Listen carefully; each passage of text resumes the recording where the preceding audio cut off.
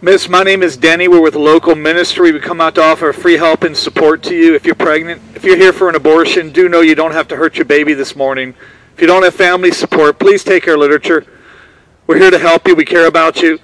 And God's word says that you shall not murder this morning. And God's word clearly defines the taking of innocent life, the killing of the preborn as murder. God hates the hands that shed innocent blood, and so should you. Right now, your baby needs you. Love your baby today. And for all of you in the parking lot waiting, I want to encourage you all to look deep down inside, you men. Find some spine. Provide for your child. You might been in a situation you didn't expect, no doubt. But that doesn't justify killing a baby to try to make your way out of it. I've said it over and over. God's word says that you shall not murder. And we all know it's wrong to take innocent life, especially a child, especially our own children who've been conceived within your womb, who need your protection and need you right now desperately.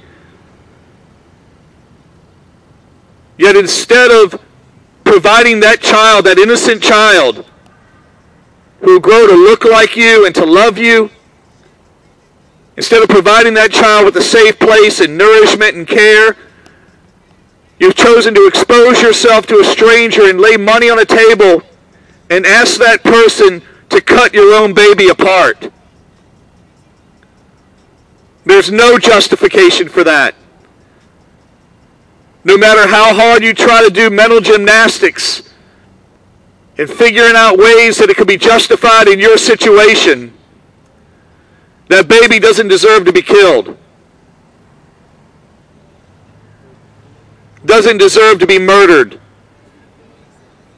And every baby that dies here is a beating heart. Think about that. If you want to convince yourself that child isn't alive, a heart beating just like yours.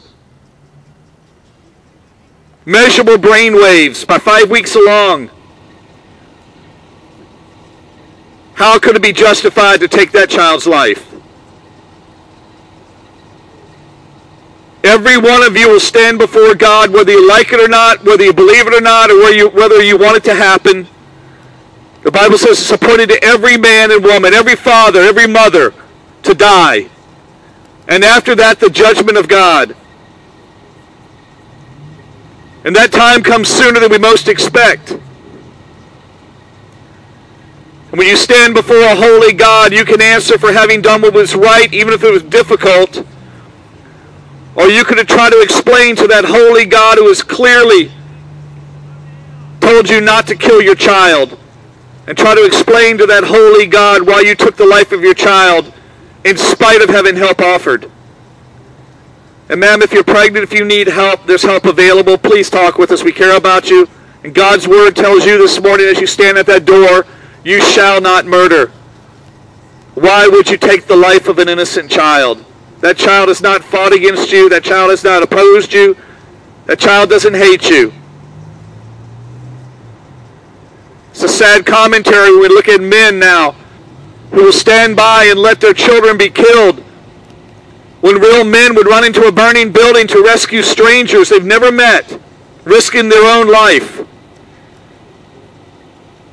Yet I see males, not men, I see males who will come and sit by as their son is cut apart, as their daughter is mutilated, and justifying their sin and acting like they're doing something noble.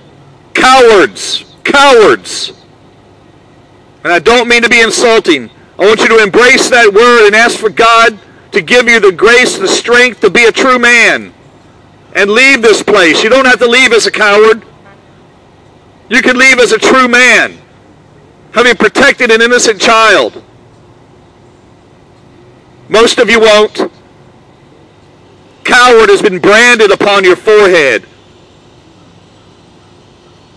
It doesn't have to be. Be men of courage, be men of valor, be men that are responsible. Love your child. The greatest gifts God gives us is our children.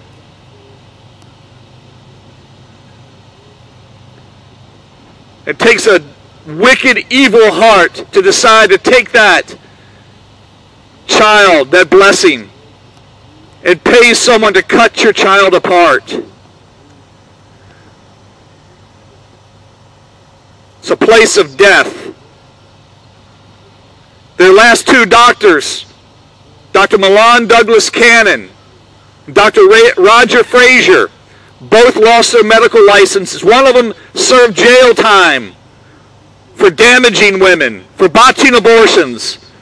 That's the kind of doctors they hire here. It's not only dangerous for your child, it's deadly for your child, but it also could be deadly for you. And for no other reason than your own selfishness, leave this place to protect your own health and safety. But by all means, don't shed the blood of your baby. If you need help, we're here for you. We've been coming out for years, help dozens and dozens and dozens of women. And we don't ask for anything in return. But don't harden your neck and sit here and say, I will kill my child. Because God will hold you accountable. And he'll declare guilty upon you.